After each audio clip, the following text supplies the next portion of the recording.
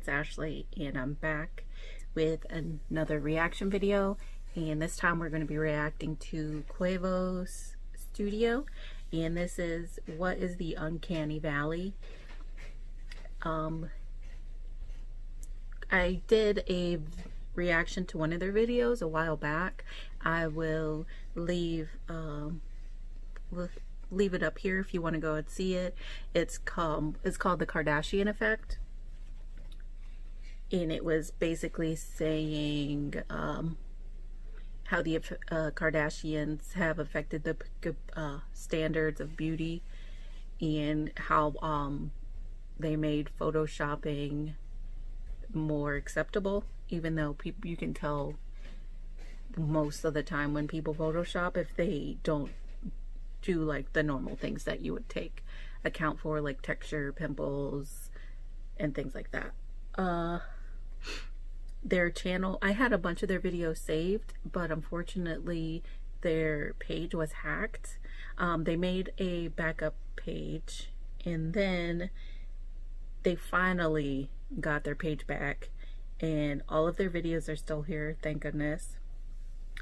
And I'll probably react to some of the ones that I had saved eventually, but I was like, what's the Uncanny Valley?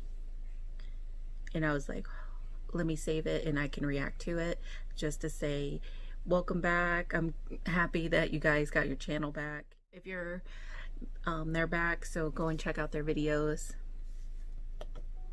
In 1919, Sigmund Freud's essay, The Uncanny established the idea of binary opposites, alive versus dead, strange versus familiar.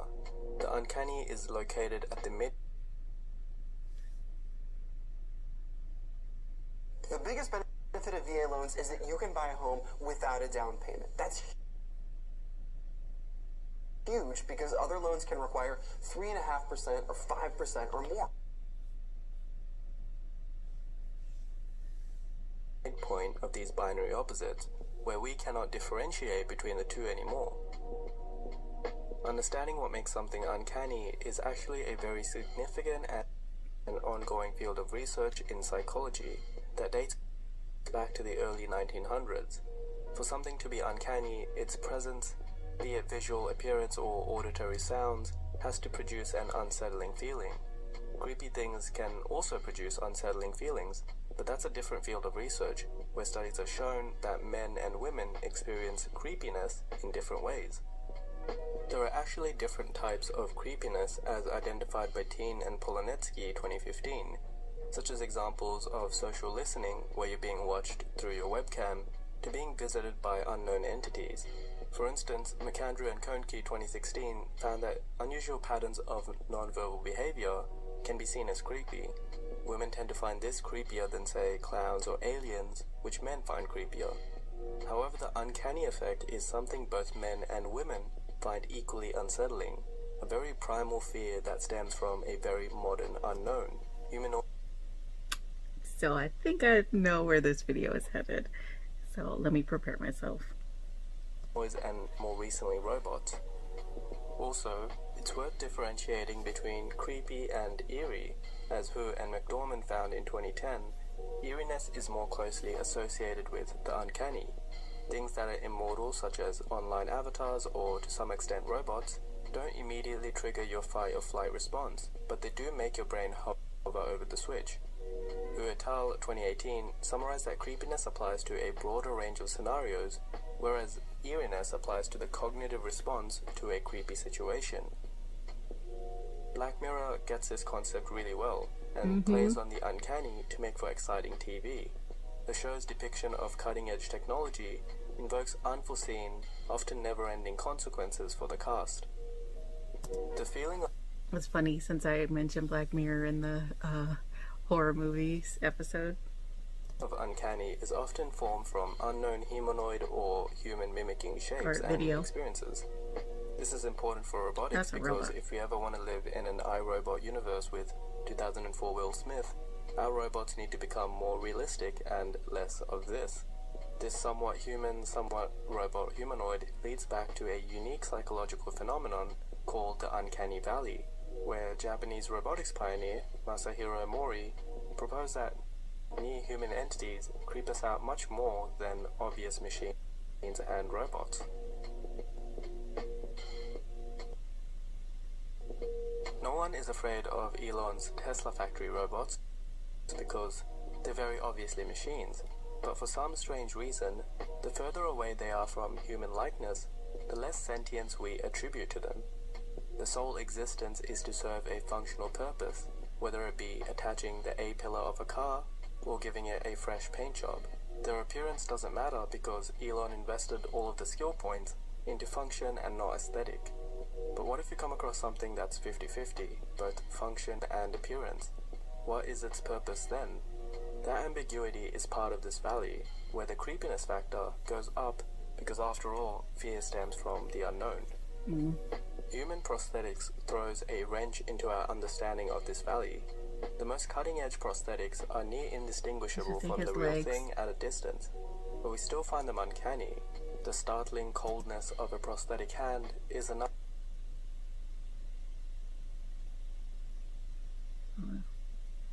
for us to lose our human-like affinity say, I with the thought he just had knee socks on. but it also gives us a vital knowledge on differentiating human from machine. This is an important point because these uncanny faces do not provide that information. In fact, their whole point is to hide it and blend human and machine together. What this uncanny valley is really suggesting is that things that are, say, 80% in resembling a human are often the creepiest, and designing robots that can go past these technical limitations is the million dollar question in robotics. One big giveaway that something isn't perfectly human is the influence of movement. In movies, zombies have deliberately stiff, rigid movements, And we're so we talking can about make no mistake that they're not human. Likewise, no matter how realistic the prosthetic hand looks, when the digits begin to move, our feelings of unease amplify. Conversely, when we see a healthy person move, we can confirm that they're human. An entire robot simply magnifies this feeling of unease. Is he Veterans United? or Paula's Choice? What commercial am I gonna get? Ooh, another.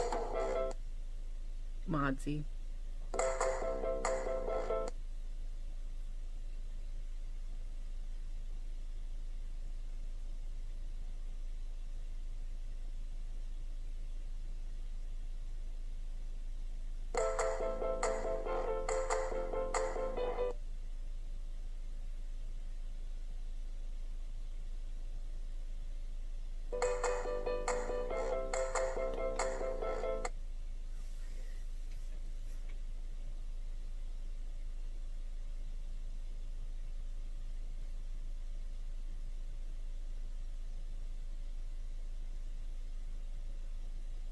The 90s, the focus was on making more realistic robotic faces because the theory I used to follow the robot on Twitter before I shut my Twitter down because I was like, I'm not on here. I don't need it.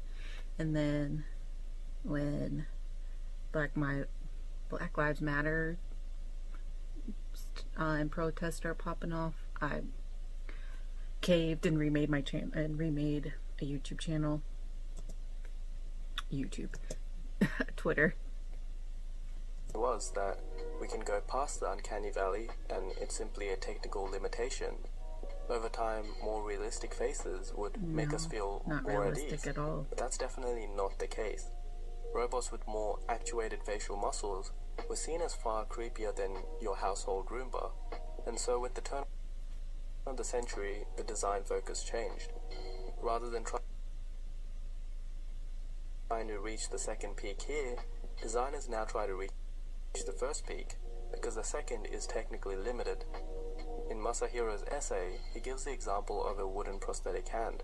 The color of the wood is deliberately left with its smooth, fingerprintless shape. There's no confusion that it's a prosthetic, which makes us feel more at ease. It's why prosthetics are shaped like this, with the focus on functionality rather than this. Now, I'd like to clarify that uncanny does- doesn't necessarily just have to be caused by robots. A bad Photoshop job or a minor Yeah. mispositioned detail, or even works of art, can elicit the same feelings of unease as they create ambiguity.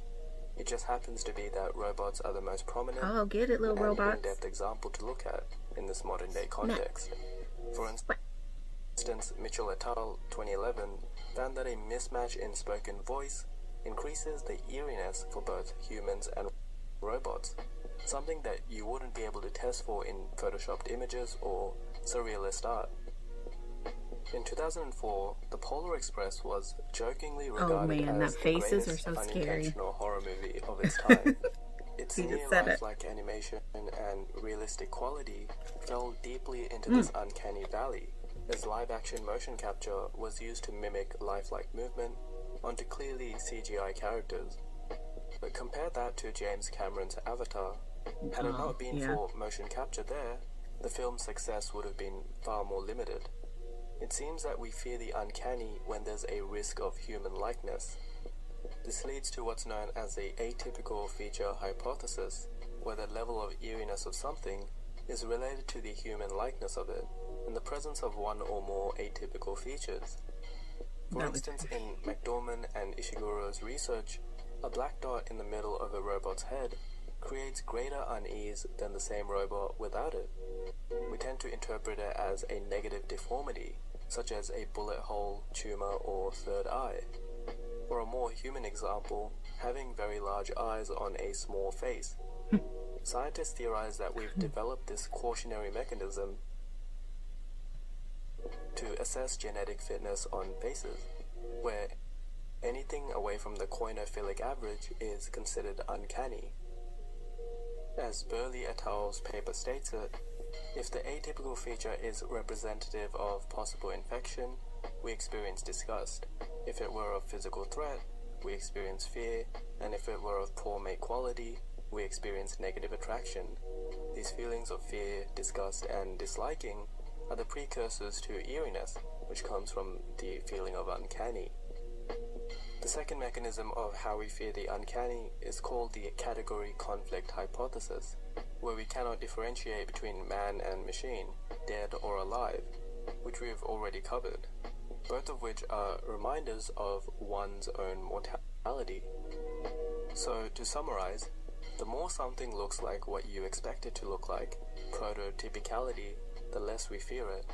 We find things the most uncanny when they look nothing like what we expect them to look like, but they also seem realistic and somewhat human like, such as humanoid Yeah, that's true.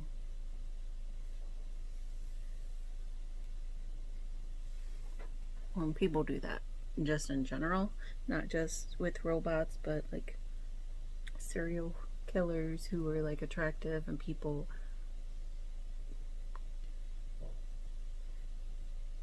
not expecting it, so or they're them being charismatic. You know what? Um, this is the stretch. Let me shut up. shapes, alien faces, and obviously It's a stretch. Robot automatonophobia. Ah. The photography of Jeremy O'Sullivan is a good example of this. While undoubtedly the images are of people, our brains cannot comprehend the composite images, adding that element of ambiguity to set us on edge. Likewise, what's more uncanny than a wax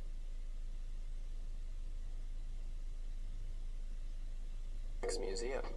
They look 95% like the real deal, but there are subtle differences that subconsciously Yeah. indicate that they're not. Part of it is to do with their posture. like wax. Video game designers understand this, and so characters often have idle animations to add realism. Also, makeup makes a huge difference in adding realism, or rather blurring the lines between real and That fake. looks Photoshop. Photographer Andrew that a wax doll? took this photo of Sandra Bullock's wax model Oh, okay. after applying rouge and lipstick. A lack of pause results in an uncanny feeling as it's unnatural, something I've Yeah. covered previously on Instagram versus reality. By adding makeup, we're used to seeing faces without pause, so it doesn't trigger a feeling of eeriness. Another giveaway with wax models are the eyes. You feel as if they're following you because they're very clearly glass. Real eyes have very visible red capillaries across the sclera, with fine microstructures in the iris, such as the collarette. Not to mention the eye should appear to visibly glisten because it's wet.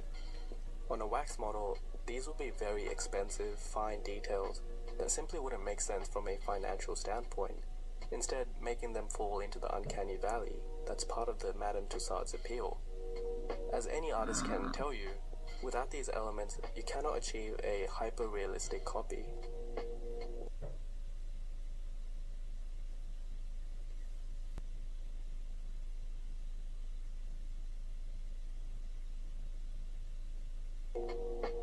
So that brings us to an end of, of another video. This topic of the uncanny is a much larger subset of what it means to be creepy, or more so, look creepy, which is a topic for a later video. If you would like to learn more about your own face, you can order a facial aesthetics report at our website, qoves.com. As always, visit our Instagram page at QOVES Studio for more facial morphs Koos. and other I say, composites. that's what I say, Quavos. Koos.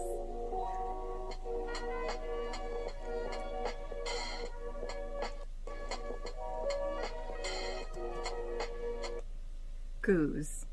Koos Studio, not what I said. Do I want to drink? Not really. But, uh, you know, I can't pronounce things. so, this video was really interesting. This video was really interesting because I didn't, I didn't study psychology, so I didn't know, um, I've, like, heard people mention the Uncanny Valley. Have I? Let me not lie. Mm, no, I don't think I've ever heard about it.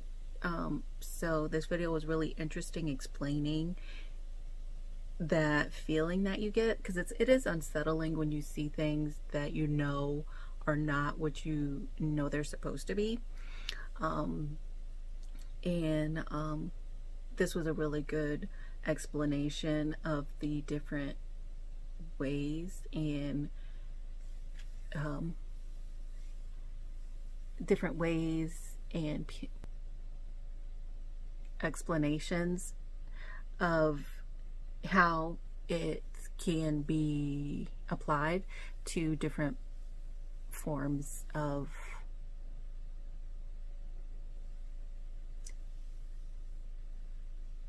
parts of our daily life like Instagram like you know like right off the bat when something's unsettling. Like people were pretty unsettled with Khloe Kardashian when she posted that photo. I'll put it up here. And they're like, that's who is that supposed to be? That's that's not what Khloe looks like. So it was unsettling. Um and they've done that a lot where they post stuff like well they're they're always the main culprits with stuff like that but then there's there are regular people that post on instagram who photoshop like influencers or um, other people and you're like that just seems off. What is it? And sometimes you can't put your finger on it and then sometimes you're like you just look at it and you can tell right away. Um but check out uh their channel check out their channel and um oofs oofs koofs channel. Anyways leave your comments of your experiences with having this feeling. Um and i will see you in the next video. Bye. If you want me to get close to you, just tell me what to do. Tell me what to do. If you want me to take over, just give me the green light. Just give me the green light.